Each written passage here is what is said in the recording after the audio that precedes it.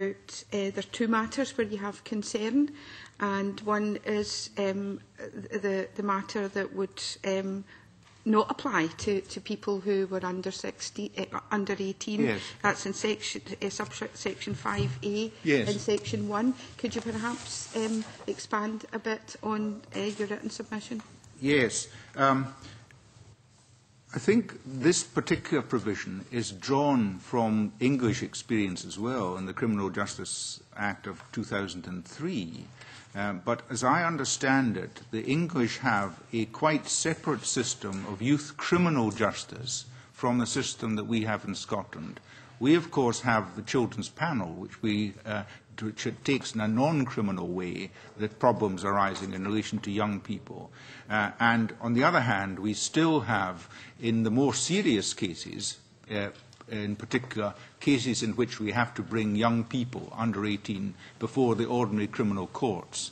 Now, in circumstances in which they are brought before the criminal courts because a 17-year-old has committed murder or a robbery or something of that sort, then uh, we don't see in principle why the purposes and principles of which are set out in the earlier part of the section shouldn't apply to them equally. Of course, you will also have to take into account their, their youth. But otherwise, the question as to whether uh, uh, it would help in the reform and rehabilitation of offenders seems equally apt to such a person as it would apply to a 19 or 21 year old.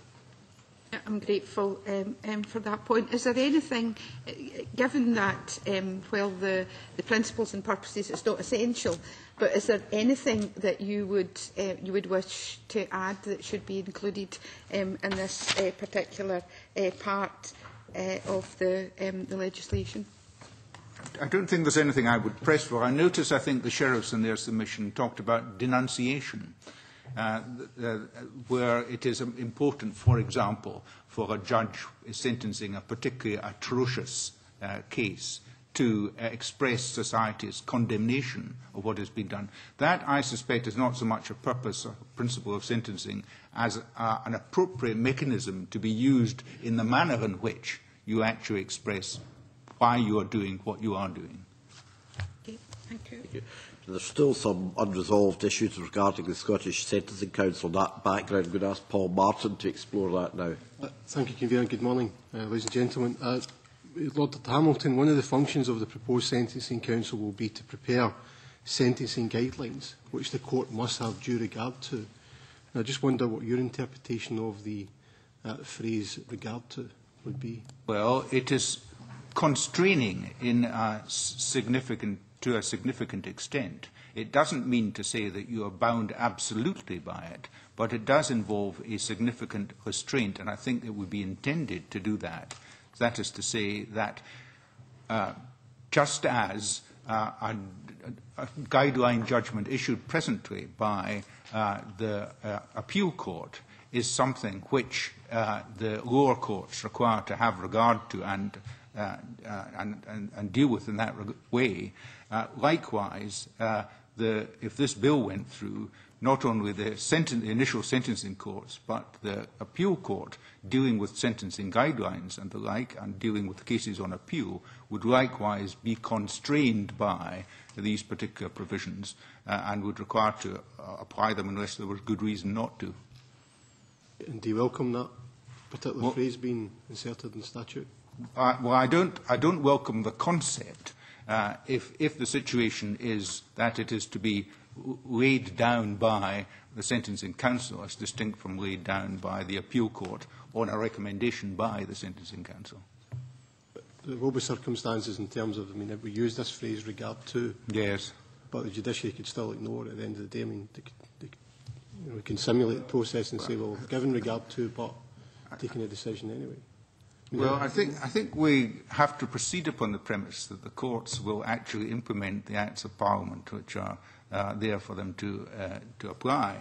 Uh, and there, there no doubt will be circumstances, but they will require to be carefully examined where a, lower court may say, well, I've had regard to it, but I think that the circumstances are special and therefore I shouldn't apply this particular guideline. That will be open to examination as it would be open to examination if it was a guideline laid down by the court.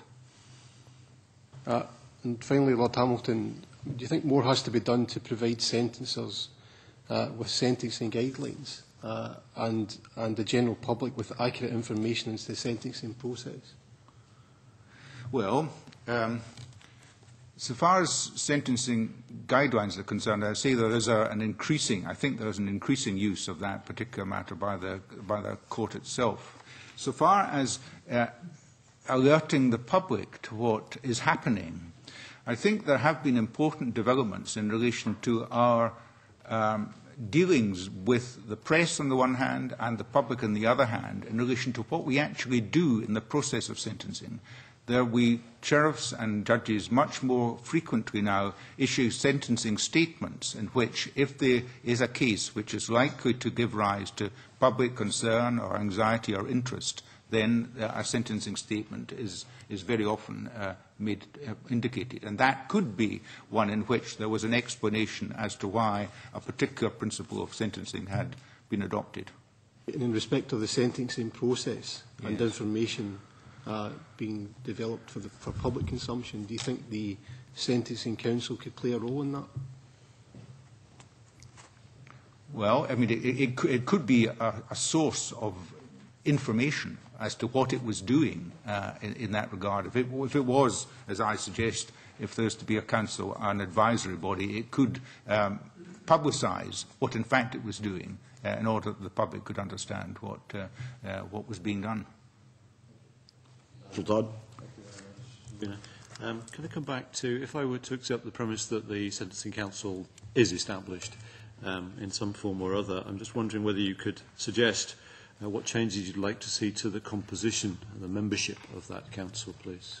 Well, I, uh, I, I would strongly urge that it should be, have a, a judicial uh, majority um, if uh, I think where it is short uh, of representation is in relation to senior members of the judiciary. I think uh, merely having the chairman as the Lord Justice Clerk and one other uh, judge, who, first, effectively a first instance criminal judge, uh, as the only two senators uh, on the commission or the uh, council, uh, is inappropriate. I would be minded to double that to four uh, uh, senators. I would leave the, uh, the number of sheriffs uh, and the number of uh, uh, justices the same. I think I would remove the constable. I don't see the function of the constable in this regard. And I think I would reduce uh, 5A, 5B, that's uh, Schedule 1, Paragraph 1, 5B, from two other persons to one other person. So that would be uh, uh, remain a 12 membership body, but with uh, judicial office holders comprising seven out of the 12. That would be my suggestion. I was wondering if I, we, we could spend the next half hour picking over that. I'm wondering if I could just pick up on the, the principle then of the, two, of the two lay people, or indeed lay people in general, because I think it brings me back to, to the basic principle of this. Surely it is open to society to have a say in sentencing policy. Not the individual case, we're, we're quite clear on that, but sentencing policy is surely something which concerns the man in the street. And whilst it would be wholly inappropriate just to pick two men or women off the street, there are surely people outside the legal system who can bring some life experience and some, as we do. I mean, I'm not, not suggesting they should be MSPs or ex-MSPs or anything, but we represent the world whom we meet sometimes. Surely it's not inappropriate, at least for people like us representatives of society, to be part of this process of policy development. Well, I, I'm, I'm quite content with that. It's, it's really the, the, uh, the degree of involvement, as it were. And I could see that uh, there could be a, a very important input from uh, somebody who had particular knowledge of uh, the issues faced by persons victims of crime, or somebody, a penologist or whatever, who had some particular knowledge of the effects on uh, persons con, uh, convicted of particular disposals, that these particular aspects could be brought very usefully into an exercise which gave rise to informed advice as to what the court should do. Okay. I'm, I'm just wondering if you've, you've obviously told us quite a bit, I think, about the process of establishing guidelines.